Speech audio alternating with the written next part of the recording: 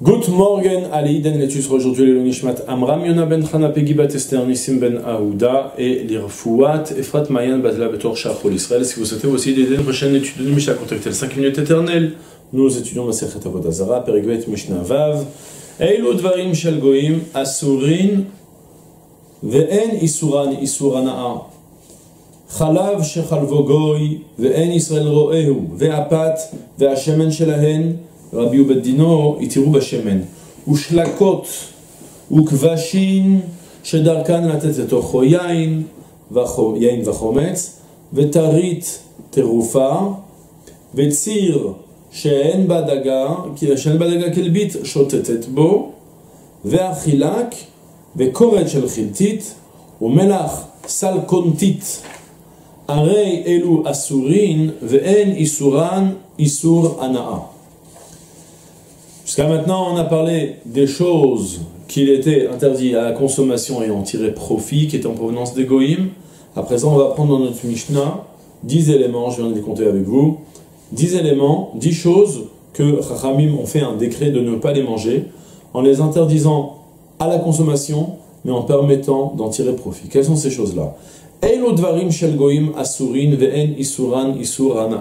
Telles sont les choses qui sont interdites lorsqu'ils sont en provenance donc d'égoïm, mais ve'en isuran isur mais qui ne sont toutefois pas défendus à en tirer profit. C'est-à-dire j'ai le droit de faire du commerce, de les vendre, mais j'ai pas le droit de les consommer. Quelles sont ces choses-là? Alors le premier c'est chalav, shechalavo goy ve'en israel ro'ehu, du lait qui a été trait par un goy, alors qu'il n'y a pas de Israël, de juifs, qui voit le goy traire soit le fameux Khalav Akum, le lait qui est en provenance des Goïm. De manière générale, ouais, on ne va pas parler concrètement d'un point de vue l'Afrique, mais si un fermier qui vend du lait, alors je n'ai pas le droit d'aller acheter du lait chez lui tant que je ne vois pas la traite. Pour quelle raison? C'est un problème que, comme ce qu'on avait évoqué déjà hier, le goy, ça peut lui arriver de mélanger dedans du lait d'espèces de, interdites, du lait de truie, de, du lait de chameau, de, chameau, de chien. D'accord? Et donc de ce fait, il faut nécessairement voir la traite. Il y a maintenant quelques permissions qui sont données selon le cas. S'il n'a pas d'animaux impurs et que je suis même à l'extérieur, que je ne vois pas directement lorsqu'il traite, mais que je suis sûr qu'il a fait ça proprement, il y a comme ça quelques permissions qui sont données. Il y a un nom Tiferet Israël qui fait ici un beau résumé des, des halachot essentiels. Je bien fait avec vous, mais on a une Mishnah tellement longue, celle d'hier déjà, j'ai pas envie de perdre mon, de perdre mon audimat, vous allez vous fâcher avec moi à la fin, alors je préfère avancer, quoi. D'accord? Donc ça, c'est le, le, lait que le goy trait, on n'a pas le droit de le consommer. De même aussi, vehapat, le pain, vehachemen shelaen, et aussi l'huile. On va les traiter les deux en même temps tout de suite. Rabbi ou bet dino itiru bashemen. Il y a une histoire qu'ensuite, même si ça a été initialement interdit, Rabbi et son Beddin, le Beddin de Rabbeinu Akadosh, Rabbi Yodanasi, se sont euh, ont siégé pour permettre, pour lever l'interdit qui a été décrété sur l'huile. Soit, cette fois-ci on parle d'un issour de Mishum Khatnout, d'ailleurs même les prochains isurim qu'on va voir sont aussi interdits Mishum Khatnout, de peur que l'on en vienne à se marier avec eux. Rabbi ont voulu nous écarter des de ce fait ils nous ont interdit vraiment une takana qui, qui est infernale de nouveau. C'est vraiment le but qu'elle soit infernale, qu'elle nous empêche de vivre avec des rapports sociaux trop, trop faciles avec les, avec les goïms, comme ça on c'est sûr qu'on s'est un écart. Donc cette fois-ci là on parle du pâte, le pain, et même l'huile, initialement même l'huile d'olive elle avait été interdite, sauf que, pour l'huile d'olive d'abord, on, apporte une précision comme ça on clôt le sujet, l'huile d'olive ça a été décrété, malgré tout il y a une règle, que lorsque Khamim font un décret, et qu'il ne se propage pas, les gens ne le suivent pas, hein, ça passe pas quoi, donc de ce fait, c'est Takana Shenatzibor Yicholim la mode, un décret que le rov du public ne peut pas respecter et il s'annule. Et c'est justement ce qui s'est passé avec Rabbi ou Bet Dino qui se sont installés pour supprimer ce décret de l'huile d'olive. Donc en fait, on a le droit d'acheter maintenant de l'huile en provenance des goïms, il n'y a pas de problème. Mais par contre, le pain, le pain est resté interdit. Pour, comme ce qu'on a dit, une barrière pour nous empêcher de nous marier. Ça, c'est le pain, hein, tant que le goy le fait entièrement, même s'il le fait devant nous, devant nous, il le fait entièrement cachère, en cachère. D'ailleurs, on n'a qu'à faire aussi celui qui vient juste après, c'est ushlakot. Shlakot, c'est les aliments cuits aussi, c'est ce qu'on appelle cette fois-ci les bichoulés à koum. On va apporter quelques précisions ensuite, mais d'abord, c'est le même principe pour tous les deux. même si le goy fait de manière parfaitement cachère, il fait tout devant moi cette fois-ci. Il fabrique le pain devant moi, il le fait cuire devant moi dans mon four, il n'y a aucun problème de cache-route. Idem aussi pour le plat qui me fait cuire. Il me fait cuire un plat, tout est glad cachère. Je suis là en train de regarder. Il y a un seul problème, c'est que le goy, il a tout fait, c'est lui qui a fait les actions de faire cuire tout seul. De ce fait, Rami m'ont dit, le goy interdit l'aliment. D'accord? Maintenant, il y a une permission qui est donnée, c'est si je participe aussi au bichoul. Selon le cas, il y a des petites différences entre si c'est une cuisson de pain, on permettra plus facilement simplement de jeter même un petit, un petit peu de foin, dans le, un petit peu de, combustible dans le four, ou même d'augmenter un petit peu le feu. Si c'est chez la côte, il faut faire quelque chose de plus conséquent. Il y a, comme ça, c'est de nouveau, si ça vous intéresse, regardez dans le Tiferet Israël, il vous fait un petit sikoum, un petit résumé de halakha très intéressant. Et voilà. Pour les shlakot, maintenant, on va porter. Ah, non, d'abord, on finit avec le pâte. Il y a malgré tout, en France, par exemple, vous connaissez, vous avez déjà sûrement entendu, la Gamal rapporte que le pain qui est interdit, concrètement, c'est essentiellement le pain fabriqué par des individuels. Mais le pain qui est fabriqué par la boulangerie, ce qu'on appelle le pâte palter, le pain du palter, en dit cette fois-ci, c'est-à-dire le pâte nartom, le pain du, du boulanger, alors lui, il est permis selon des règles, s'il y a moyen de se procurer le même pain chez un juif, alors il faudra aller chercher le juif, mais autrement, le pain du goy il sera, il sera permis à la consommation puisque c'est un boulanger, dans la mesure où il n'y a pas de crainte, bien sûr, qu'il euh, mélange des produits interdits dedans. Il y a plus ce décret de pâte, de pâte, euh, pâte akoum. D'accord? Le pain qui est en provenance des akoum. Quand on dit akoum, c'est oved kochavim mazala, ça veut dire un goy. On l'appelle akoum sans racheter votes. D'accord? Maintenant, sur les shlakot. Les shlakot, donc c'est les plats cuisinés deux conditions essentielles. Tout d'abord, qu'il fasse deux conditions, qu'il faut les deux tartelles il faut les deux en même temps pour que ce soit interdit. Que ce soit d'une part, une chose qui ne pouvait pas être consommée crue, à exclure une carotte. Je peux la manger crue, dans ce cas-là, si le goy me la fait cuire, il l'interdira pas parce que de toute façon, je pouvais manger la carotte. Idem aussi, autre chose, autre point, il faut aussi que ce soit quelque chose que lorsqu'il va le fabriquer, ce soit quelque chose que l'on présente à manger de manière honorable. On le fasse ce qu'on appelle olé al-shulchan melachim. Sur les repas royaux, on, peut les mettre à table. Une confiture, par exemple. Alors, la confiture, on aura malgré tout la solution que, euh, c'est consommable, c'est des fruits qui sont consommables crus.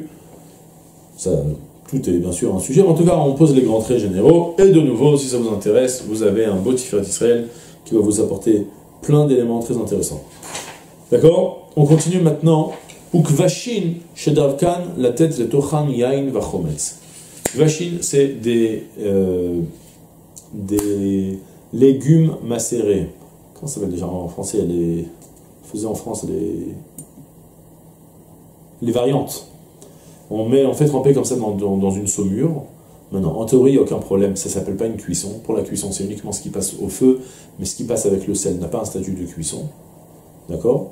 Maintenant, si toutefois ce sont des sortes de, de légumes qu'on a l'usage de rajouter, ça peut arriver qu'on rajoute dedans un petit peu de vin ou du vinaigre, alors, puisqu'on va, cette fois-ci, là, cette façon, on avoir un problème que peut-être que le goy va y mélanger du vin ou du vinaigre, et de ce fait, Ramim ont interdit complètement ce type d'aliment. Imaginez par exemple que vous avez, ouais, on parle de chometz, quand on parle du vin ou du vinaigre, on parle de vinaigre à, base de vin.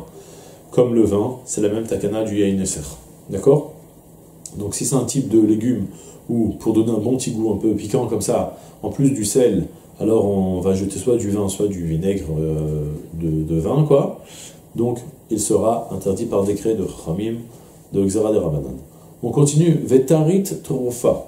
Tarit trofa, on parle, le tarit est une petite, est un petit poisson qui a la particularité, attendez deux minutes, Minnagim de Rim, Dagdak. Ouais, c'est ça. On parle en fait qu'on fait des, comme ce qu'on vend des fois dans certains, des poissons que l'on coupe en petits morceaux. On l'achète tel quel. Il y a en Israël, ça se vend des boîtes de nitré tuna, du thon. Mais au lieu qu'il soit un peu de thon, c'est du, il est déjà écrasé, il est déjà assaisonné. Et alors là, dans ce cas-là, on va avoir un grave problème. Pour le poisson, bien sûr, vous savez bien qu'il faut qu'il y ait un poisson n'est cachère que s'il a des écailles et des, des nageoires. Snapir avec Et s'il n'a pas des, des, écailles et des, nageoires, alors il est interdit à la consommation. Maintenant, lorsque le poisson, il est. Alors, lorsqu'on achète des goïms, je ne suis pas sûr de mon coup, mais il me semble qu'il faut nécessairement voir que sur le poisson, il y a au moins une écaille pour être sûr que c'est un poisson caché, sinon on ne pourra pas l'acheter. Là, en tout cas, je suis pas sûr malgré tout, est-ce que ça invalide a posteriori C'est sûr qu'a priori il faut le faire, mais est-ce qu'a posteriori c'est invalide? Je sais pas. Si on achète du saumon qui est déjà coupé, qu'on voit pas les écailles, est-ce qu'on a le droit de le manger? C'est ça ma question. Je crois qu'il y a un interdit, je suis pas sûr. Mais en tout cas, pour le tarif Troufa, là, cette fois-ci, on parle que c'est pire que ça. C'est vraiment, on achète des morceaux de poisson coupés et mélangés comme ça en vrac. Alors, lui, il nous, il nous assure que c'est que des poissons cachers. On n'est pas sûr. Peut-être qu'il y avait dedans un petit peu de poisson qui n'était pas non plus cachère, qui s'est mélangé. De ce fait, vraiment, on fait une xéra. On n'achète pas du, du poisson d'égoïm si on ne voit pas que c'est une sorte, une espèce cachère. D'accord? Encore, autre sujet, c'est tir chez Enbadaga. Le tir d'agim, c'est le fameux sang salé qui coule du, poisson qu'on a déjà évoqué plusieurs fois. Il utilisait fréquemment en sauce, il trempait du pain dedans, et c'était utilisé comme sauce, c'est assez fréquent. Ça avait un goût fort, salé. Alors maintenant, ce qui se passe, c'est qu'on veut acheter du tir en provenance, donc ce tir là, cette, euh, cette sauce, en provenance des Le problème, il est quoi? Il est que si, si ça vient d'un poisson qui n'était pas cachère, alors on n'a pas le droit de, consommer ce tir. Comment est-ce qu'on fait pour savoir si c'est un poisson cachère ou non, s'il provient d'un poisson cachère ou non? Alors, on a un signe que si on le voit, c'est sûr que ça vient d'une espèce cachère. Il y a une daga kilbit, qui a un petit, un, petit insecte, un petit ver qui traîne spécialement lorsque le poisson est cachère. Si le poisson il est cachère, vous allez voir là-bas ce petit ver dessus, ce petit, euh, ce petit insecte qui va tourner là-bas, qui va vouloir comme une mouche, une sorte de mouche un petit peu, qui a le même principe quoi, qui va tourner, qui va vouloir absolument se nourrir de ce tir. Par contre, si le cire a été fabriqué à, base de poisson qui n'est pas cachère, alors il n'y aura pas cette mouche. Donc de ce fait, si vous voyez un goy qui vous vend un pot de tir, et vous voyez qu'il lui, manque ce petit insecte là qui est dedans, donc on va craindre que c'est peut-être de, provenance de poisson tamé, donc on ne pourra pas le consommer. Maintenant, Vehachilak. Le chilak, cette fois-ci, c'est un nom d'un poisson, je ne sais pas comment il se traduit, je crois qu'en Yiddish, il a traduit le Tiferet Israël. Bon, cette fois-ci, il s'est pas engagé. Cette fois-ci, il s'est pas engagé. Il traduit tous les mots en Yiddish, c'est très intéressant. Comme si ça nous aide beaucoup. Chez eux, ça les aidait sûrement. En tout cas, voilà. Le chilak, euh, le chilak, donc c'est une sorte de poisson qui a une particularité très spéciale. C'est que lorsqu'il est petit, il n'a pas encore d'écailles et de nageoires. Mais après, lorsqu'il va grandir, il va avoir des écailles et des nageoires. De ce fait, on achète un petit poisson que pour le moment, il n'a pas d'écailles. Et il est possible que ce poisson y soit assourd, parce qu'en fait, peut-être que c'est pas un petit poisson qui deviendra un vrai, qui aura ensuite des écailles. Qu'on soit clair, quand la Torah nous a donné euh, la, permission de manger des poissons qui a, qui a des écailles et des nageoires, c'est pas nécessaire de manger l'écaille et les nageoires. C'est-à-dire, à partir du moment où c'est une espèce qui va produire des écailles et des nageoires, donc à un moment, il va nous dévoiler qu'il a le bon signe de cache-route, il sera caché même lorsqu'il est encore petit. Selon ce principe, alors le khilak il est permis. Le problème il est que les gens ne vont peut-être pas le reconnaître comme il faut. Le goy va, embrouiller le, juif en lui disant non, ouais, c'est un chilak, quand il va grossir, c'est une autre espèce, ça provient comme ci, comme ça. De ce fait, Ramé on dit tu manges pas le chilak. Si tu veux acheter un poisson d'égoïme, tu dois voir les écailles et les nageoires, c'est marqué ici. D'accord? On continue. Vekoret shel chiltit. Alors le chiltit, c'est. Le koret, d'abord, c'est une graine de chiltit d'espèce. De chiltit, c'est une sorte d'épice qui s'appelle le khiltit, une épice très piquante, qui a un goût fort. On l'utilise en chasse, je ne sais pas comment ça se traduit. Euh, le Barthénois nous dit que même en arabe ça s'appelle du hiltit, donc je ne sais pas.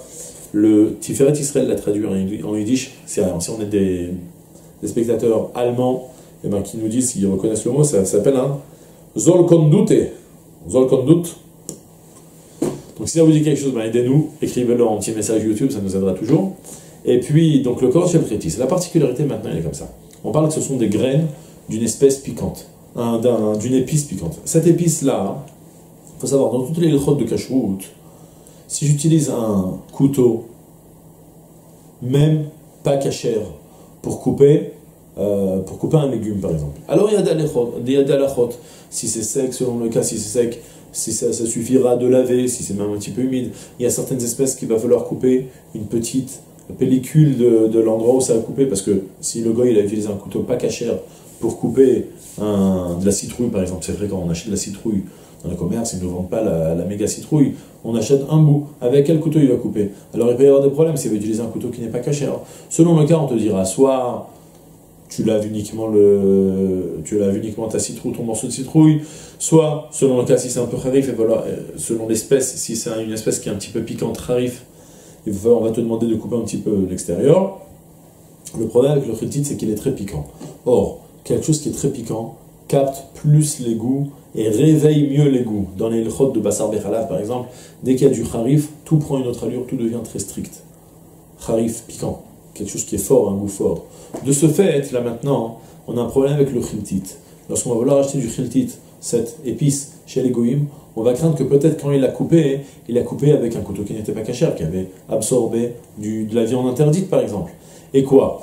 Alors c'est sûr que le couteau il était propre, en théorie ça aurait suffi de le laver. le problème c'est que ton khiltit, il est à présent, il est harif, il est piquant. Et s'il est piquant, alors il a pu réveiller le goût absorbé, le goût de nevela, le goût de viande interdite par exemple, absorbé à l'intérieur des parois du couteau, pour ensuite l'absorber même dans une forte épaisseur, et de partout, de ce fait, Ramon on fait un décret, le koret chez le les graines de chitit, tu ne les achètes pas chez les. D'accord? Au melach salkontit. Alors là, c'est le dernier, c'est un melach qui provient de salkond. Ouais, c'est un peu grossier la salkond. En tout cas, c'est quoi Salkonderi. Salkonderi rapporte. Les Romains. Les Romains, c'était un. Euh, je sais pas, d'après même, c'est une ville, une ville, un endroit. En tout cas, il y avait un sel particulier qui était un sel euh, qui avait dedans des goûts. On prenait du sel et au lieu de l'utiliser tel quel, du sel simple pour mettre sur un concombre, alors il y avait un endroit où il, à Salkonderi, à Salkonder, un endroit où il, il travaillait le sel. Il lui ajoutait dedans de la graisse interdite et toutes sortes d'épices. Et comme ça, il y avait un sel un petit peu perfectionné. On le mettait ensuite sur un légume, ça avait un goût beaucoup plus raffiné, puisque vous imaginez bien, vous avez des goûts de gras. De ce fait, ce sel-là, il est interdit à partir. On a, le droit d'acheter que du sel à l'état pur, mais pas du sel qui a été retravaillé, même si le goy nous assure qu'il n'a pas mis dedans du halouf, il a dit qu'il nous assure que ça a été cachère et il a mis que juste quelques petites épices. Malgré tout, on ne touche plus à ce sel, de peur qu'il a effectivement mis des graisses interdites. Donc pour toutes les espèces que l'on a évoquées, la Mishnah nous conclut en nous disant Arei elu asurin ven isuran isurana. Toutes ces choses-là que l'on a évoquées sont interdites à la consommation, mais ne sont pas interdites à en tirer profit. J'ai le droit de faire du commerce avec, de les revendre à des goïms, et l'argent ne sera pas interdit et tout ça. C'est tout pour aujourd'hui. Je vous souhaite une journée pleine. Salam.